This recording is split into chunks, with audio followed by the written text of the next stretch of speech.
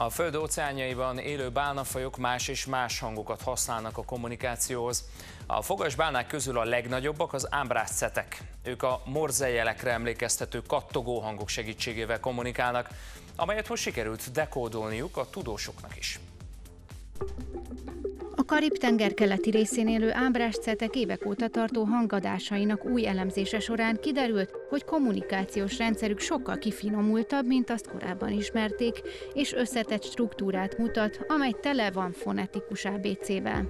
A kutatók más állati kommunikációs rendszerek, sőt az emberi nyelv aspektusaihoz is hasonlóságokat fedeztek fel. A bálnák nem véletlenszerű kattogás sorozatokat produkálnak. Egy viszonylag korlátozott számú, stabil mintázat valamelyikét használják.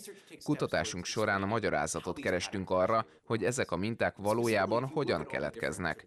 Konkrétan, ha megnézzük a kattogások típusait, azt találjuk, hogy ezek általában csak néhányféle belső ritmust adnak, amit akárcsak a zenében a kattintások közötti belső távolságnak nevezünk. A mintegy 18 méteres hosszúságot elérő bálnáknak van a legnagyobb agyuk az összes állat közül. Mélyen búvárkodnak, óriás tintahalakkal és más zsákmányállatokkal táplálkoznak. A kutatók hagyományos statisztikai elemzéssel és mesterséges intelligenciával vizsgálták meg a programban rögzített, mintegy 60 bálna által kiadott hangjelzést, így egy óriási adathalmazból dolgozhatnak. Az egyik dolog, amit szeretnék hangsúlyozni, hogy csak a kattogások szerkezetéről van szó, és nem arról, hogy mit jelentenek. Most ezen dolgozunk. Óriási kihívást jelent, hogy ahhoz, hogy ezt a szerkezetet, amit találtunk, összekapcsoljuk a jelentéssel. Tényleg ki kell találnunk, hogy a bálnák által kibocsájtott hangok milyen módon jelennek meg a viselkedésükben és a társadalmi dinamikájukban. Amit eddig kiderítettek, hogy nem képi alakú a kommunikációs eszközük, hasonlóan az egyiptomi hieroglifákhoz, hanem alfabetikus, tehát rövidebb jelek viszonylag egyszerű kombinálása. Még csak a legelején vagyunk ennek a folyamatnak, és még sok kutatást kell elvégeznünk, mielőtt megtudnánk, hogy jó ötlete megpróbálni kommunikálni velük, vagy kiderüljön, hogy ez egyáltalán lehetséges-e. Ugyanakkor optimista vagyok, hogy sokat megtudhatunk arról, hogy milyen információk vannak kódolva ezekben a hangokban.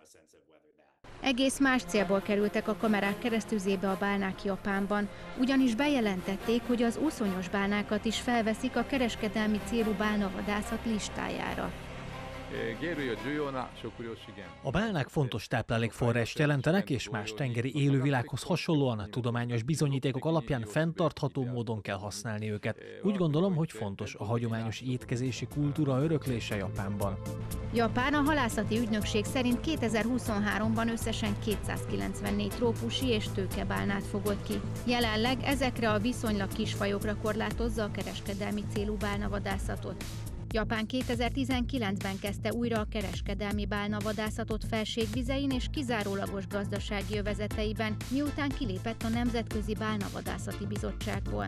Pedig a bálnavadászat globális moratóriuma már látható eredményeket hozott a tenger élő világában. Argentína partjaihoz száz év után újra visszatértek ugyanis a tőkebálnák.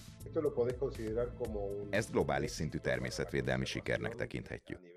A vadászat után, amely a tőkebálnák populációját minimálisra csökkentette, csak nem száz évvel később ez a populáció elkezdett fellendülni, és most ugyanazokra a helyekre érkeznek, ahol korábban is vadáztak rájuk. A tengerbiológusok azonban aggódnak amiatt, hogy Japán példáját esetleg más országok is követik, így újra bajba kerülhetnek az épp hogy csak újjáéledő bálna populációk.